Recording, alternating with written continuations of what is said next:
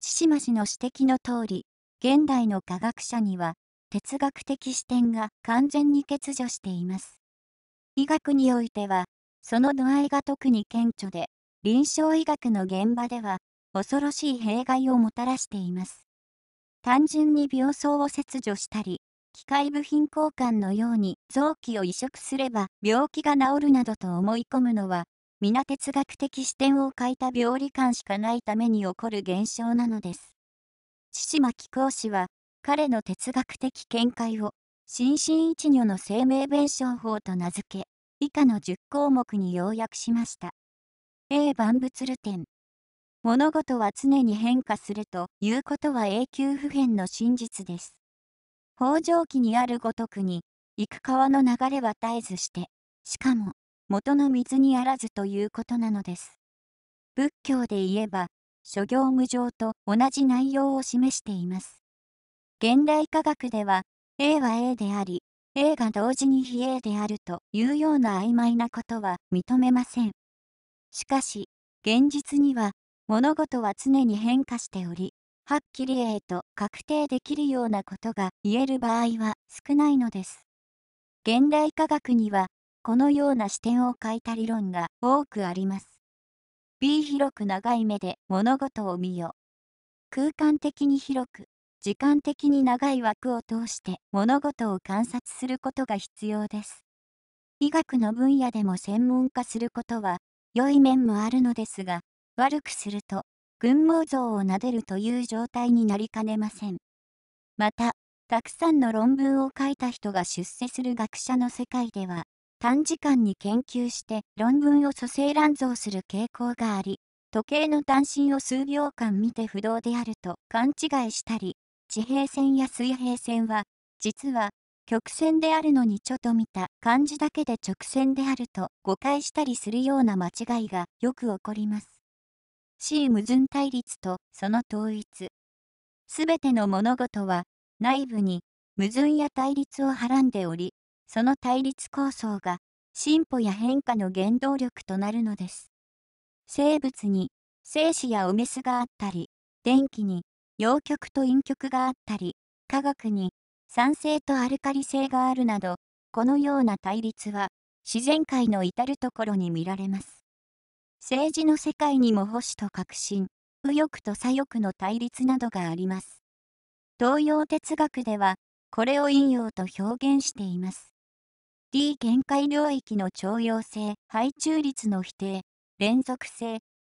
科学者は、一般に物事を明瞭に区別することを尊び、不明瞭な漠然としたものを嫌う傾向があります。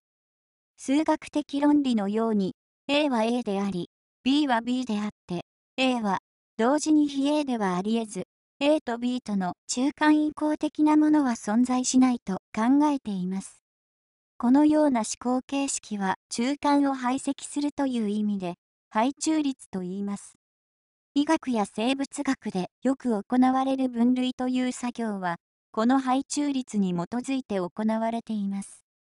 しかし、自然界の現象は連続していることの方が圧倒的に多く、A とも B ともはっきり区別できない限界領域の連続性を見つけ出すことが重要です。顕微鏡で観察すると、生物の細胞は、はっきり分類できる細胞だけではなく、分類不能の中間型の細胞もかなり多く観察されます。いい可逆性、繰り返しの原理。現代物理学では、熱力学第二法則エントロピー増大の法則により、熱が高温のところから低温のところに移るように、物事は不可逆的に一方向に進行し、逆戻りはしないとしています。このような熱力学第二法則が正しいとすると、宇宙のエネルギーの流れは、一方向にのみ流れて均一となり、いつかは動きが止まる時が来るはずです。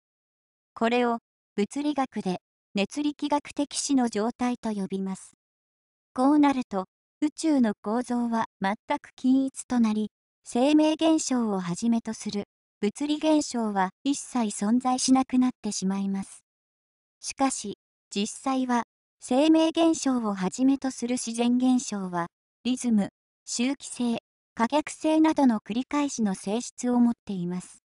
全体の運動、元素の周期率、生物の精子などすべて繰り返しを原則としており、熱力学第二法則は当てはまりません。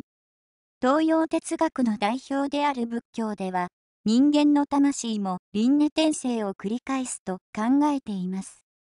F 量から質への転換。すべての物事は、量の蓄積によって、質的な変化が起こるという性質があります。水は、温度の変化により、固体の氷、液体の水、気体の水蒸気と変化します。この変化は、0度と100度で急激に起こります。生物の場合も、単純な分子が多数集合してある時点から、過当な生命体に質的変化を起こし、さらに過当な生命体が多数集合して、高等な多細胞生物に質的変化を遂げる等の現象があります。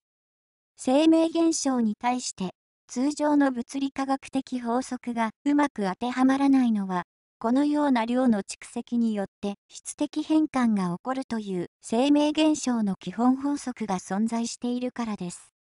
生命の誕生も昆虫の脱皮も生物の死も長い時間をかけて進行した変化がある時点で急激な質的変化を起こす現象の一つ言えます。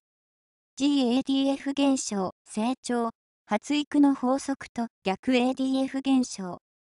ADF 現象とは、集合、アグレゲーション、融合、フュージョン、分化発展、 differentiation の3つの言葉の頭文字を取ったもので、千島の造語です。生命体は、細胞の新生に始まり、複数の細胞が集合し融合して、各種の組織を作り、それらの組織がいくつか集合し、融合して器官を作り、これらの器官が集合し融合して生物個体を形成します。生物個体は、部分の単なる足し算ではなく、部分にはなかった新しい形質や機能を後から獲得し、全体は部分より優位となり分化発展した生命体となります。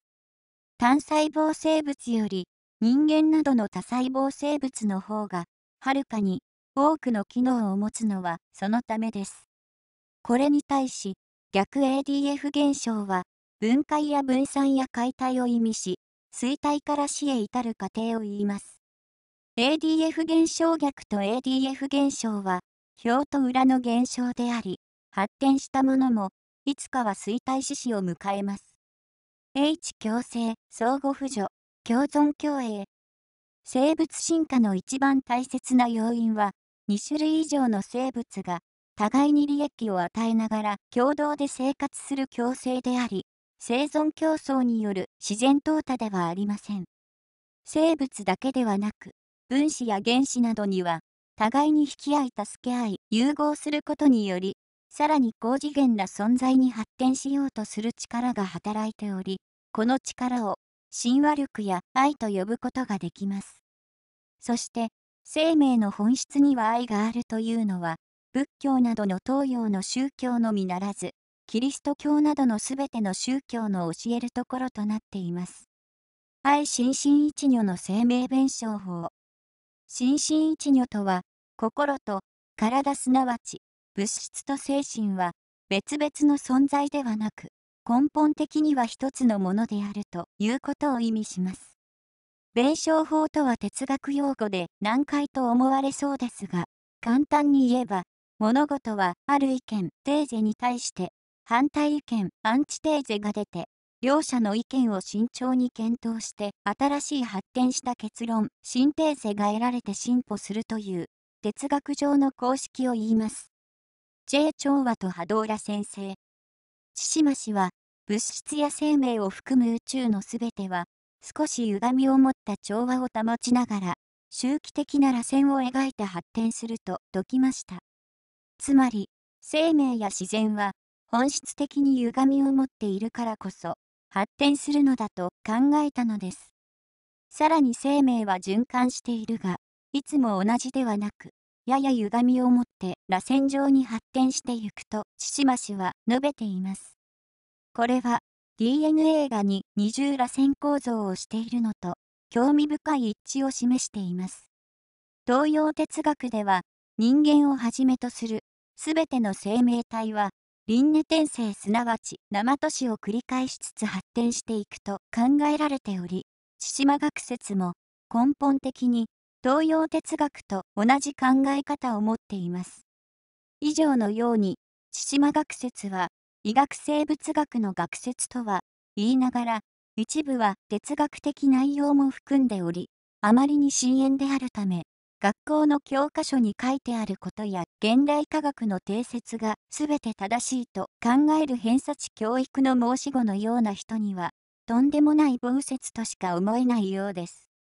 これから徐々に述べていきますが、千島学説は、現代医学生物学の根本的な誤りを指摘しており、千島学説と東洋医学の視点からがんを見直すと、がんについて全く新しい視点が開けてきます。もう一つ注目すべき点は、千島学説の消化管造血説が、東洋医学の古典の規定内形に記載されている造血理論と一致していることです。現代科学でも引用語行説でも突き詰めて極めれば、結論は同じになるということは驚くべきことです。